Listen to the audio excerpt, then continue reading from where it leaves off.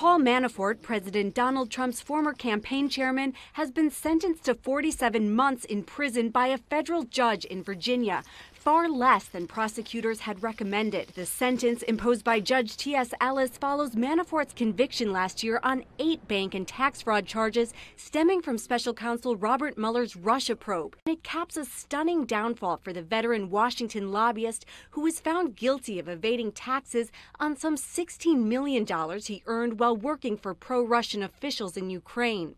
Manafort was also convicted of lying to banks to finance an opulent lifestyle of luxurious homes and designer suits.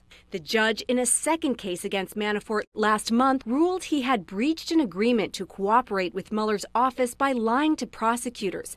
Manafort is the first person charged by Mueller to have gone to trial. He faces sentencing in the second case on conspiracy charges next week that could bring him up to an additional 10 years in prison.